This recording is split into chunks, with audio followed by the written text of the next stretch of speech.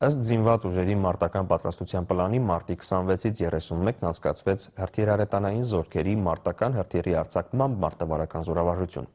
Հրթիռի ուսումնական նպատակով արձակմանը ներկա եղել նաև մեր նկարանող խումբը։ Մանրամասները Վրույր Թադևոսյանի պատրաստած տեսանյութում։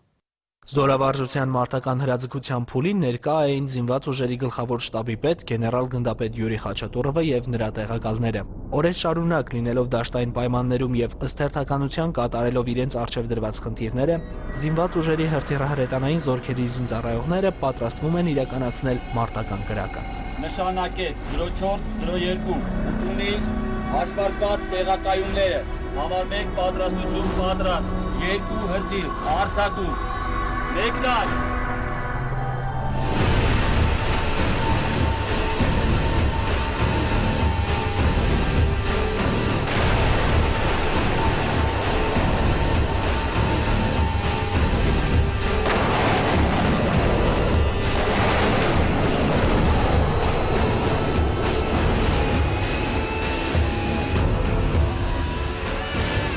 karakterek anacface. Թիրախը խոցված ըստ կատարված հաշվարկի։ Այն խնդիրը, որը որ առաջադրվել է մեզ, մենք պատվով կատարել ենք ու հույսով եմ, որ ամեն ինչ կանենք, որպեսզի ստորաբաժանումը պահենք եւ զորամասը ընդհանուր առմամբ պահենք մարտունակ վիճակում ու ցանկացած ժամանակ, ցանկացած պահի,